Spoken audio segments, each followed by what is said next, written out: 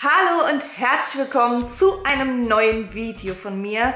Ich habe mir gedacht, ich war ja mit meinen Freunden vor einer Woche auf der Comic-Con in Frankfurt und ich könnte euch ja einfach mal zeigen, was ich mir Schönes dort gekauft habe, was mein Nerdherz höher schlagen lässt. Es sind ein paar Sachen geworden. Es waren einfach so viele tolle Künstler da. Ich weiß gar nicht, wo ich da anfangen soll. Also wir sind samstags nur hingefahren, wir hatten nur ein Samstagsticket, aber ich finde, für eine Comic-Con reicht es als Besucher, wenn man nur einen Tag hingeht. Ich meine, da sind ganz viele Merchandise-Stände, da ist eine kleine Bühne, wo dann auch die Panels stattfinden und für zwei Tage meiner, also für mich persönlich lohnt sich das dann nicht, dasselbe dann nochmal zu sehen. Im Zweifelsfall gibt man dann nämlich immer noch mehr Geld aus an Tag 2. Aber nichtsdestotrotz, ein bisschen was haben wir auch geshoppt. Ein bisschen was haben wir leider anfangs gesehen und nicht mehr bekommen. Aber dazu später. Ich werde euch natürlich auch die ganzen Shops, wenn ich sie noch zusammenkriege, in der Infobox verlinken. So ein paar Visitenkarten haben wir auch mitgenommen. Und ich würde sagen, wir fangen direkt mit dem ersten Artikel an. Wie ihr es auf dem Thumbnail schon gesehen habt und vielleicht auch an meinem T-Shirt, bin ich der größte Captain America Fanatiker aller Zeiten gefühlt. Und deshalb musste auch der kleine Gummischild mit. Also das ist wirklich so ein, ich weiß nicht, ob man es erkennt, so ein weiches Gummi.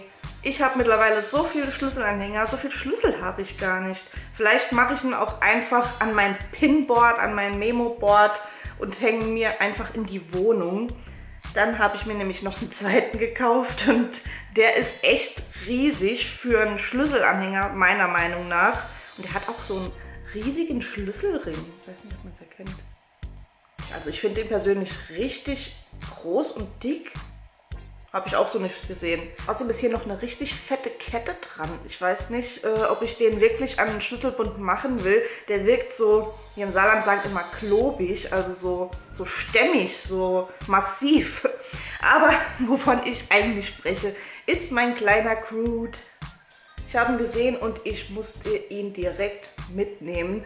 Und es war auch meiner Meinung nach der letzte, außer sie haben unten in der Kiste noch welche gehabt. Das war nämlich ziemlich gegen Ende, als wir an dem Stand waren. Und ich glaube, die anderen haben das gar nicht so mitbekommen, dass ich mir das noch gekauft habe.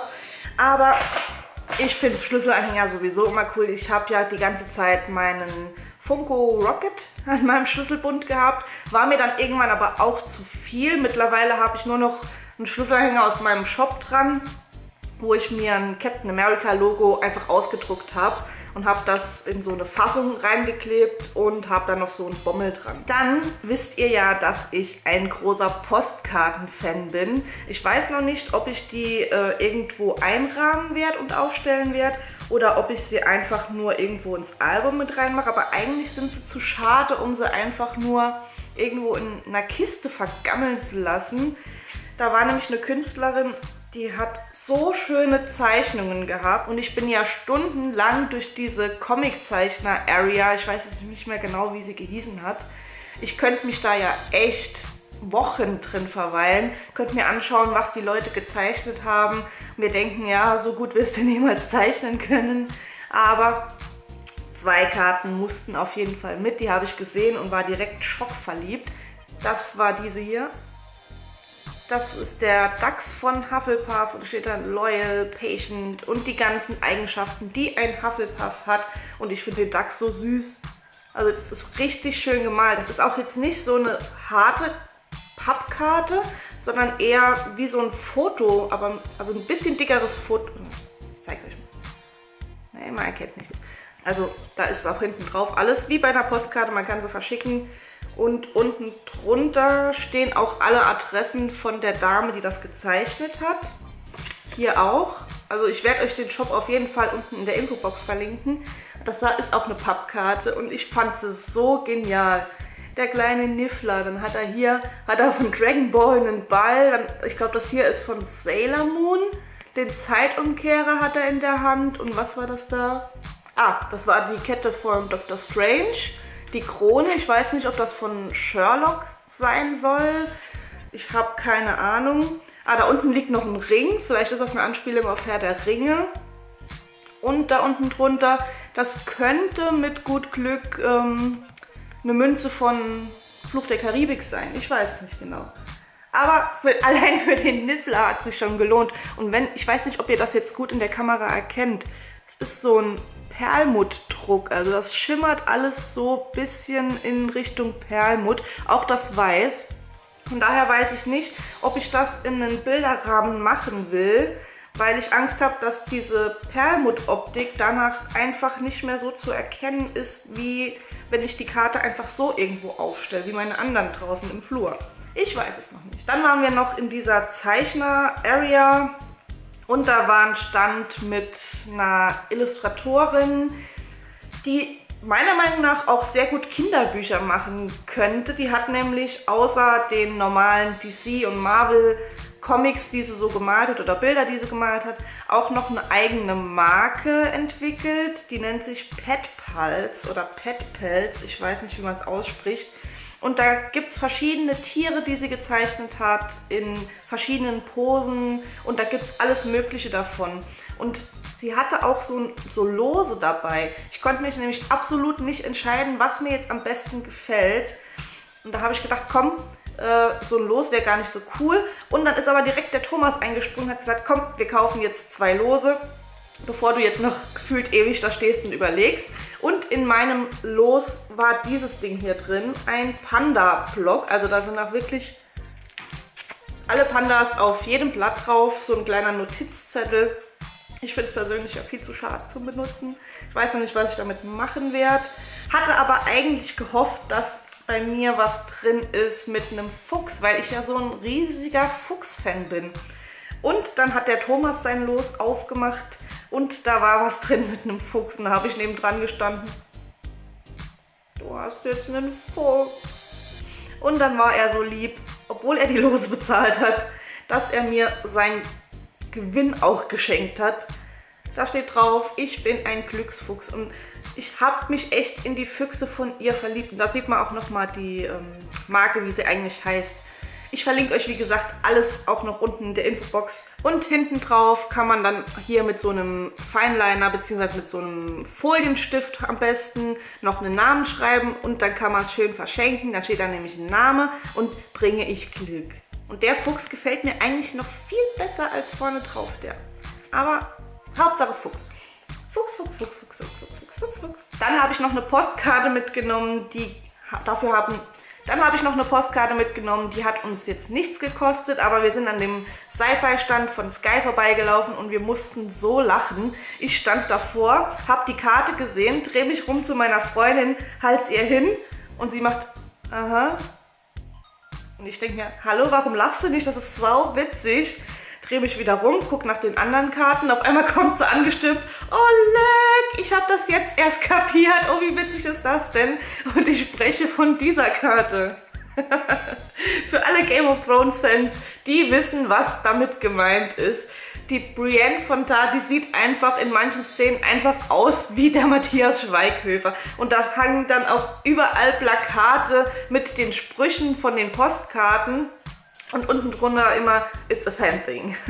Weil es einfach nur die wahren Fans verstehen. Und die Karte wird definitiv einen Ehrenplatz irgendwo kriegen. Ich habe mich so drüber kaputt gelacht. Es ist einfach das kleine Highlight der Convention gewesen. Das große Highlight der Convention, dazu kommen wir jetzt, beziehungsweise es gab zwei große Highlights für mich. Einmal habe ich nämlich noch bei einem Künstlerstand ein Bild mir erstanden, das mir richtig, richtig gut gefallen hat. Und wer mich kennt, könnte jetzt erahnen, wer auf diesem Bild zu sehen ist. Also der Thomas hat mir dann auch noch schönen Bilderrahmen gekauft, beziehungsweise geschenkt, damit ich es reinmachen kann. Und wie cool ist das Bild bitte?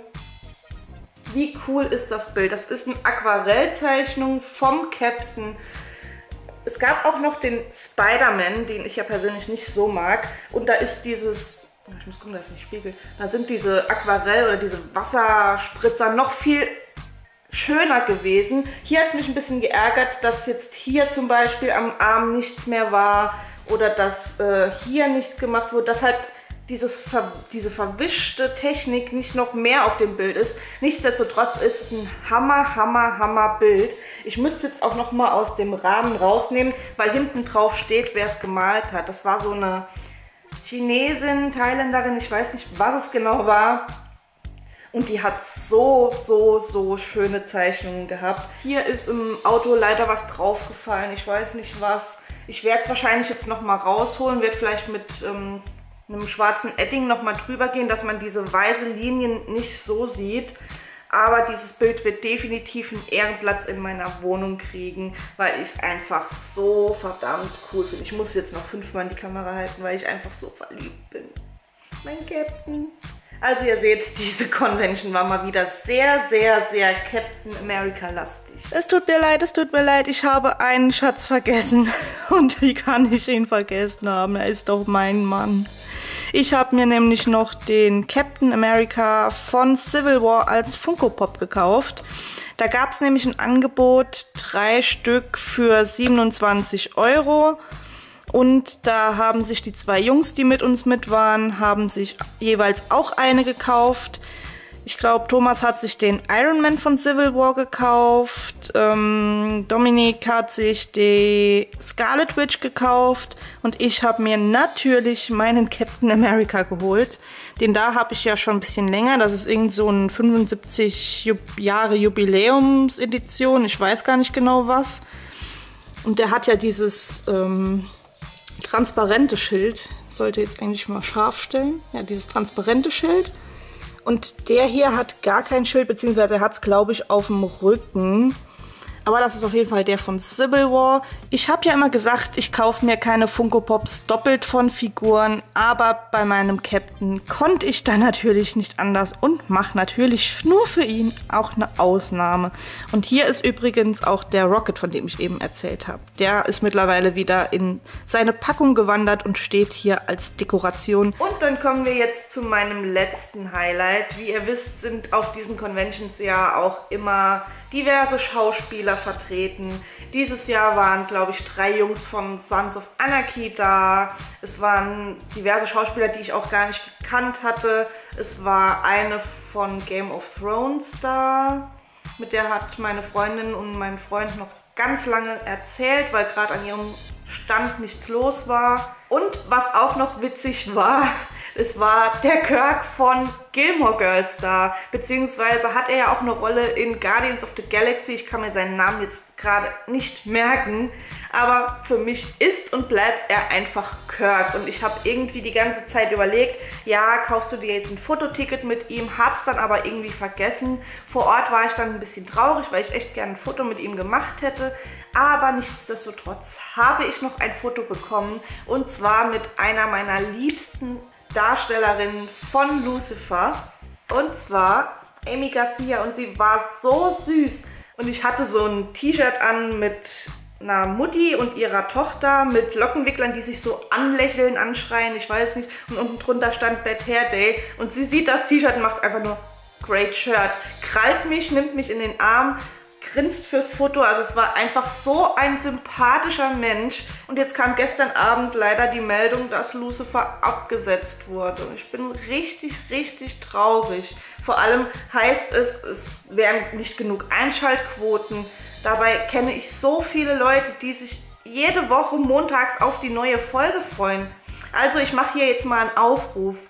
Netflix, bitte übernehmt das Ganze von Fox und macht eine vierte Staffel Lucifer. Vor allem, weil es überall heißt, dass die dritte mit so einem riesigen Cliffhanger endet. Und so kann einfach keine Serie enden. Das bricht mir mein Fanherz. Und ich finde, das waren schöne Worte, um diesen Con-Hall zu beenden. Ihr dürft mir gerne mal schreiben, was von den ganzen Sachen ihr am schönsten findet.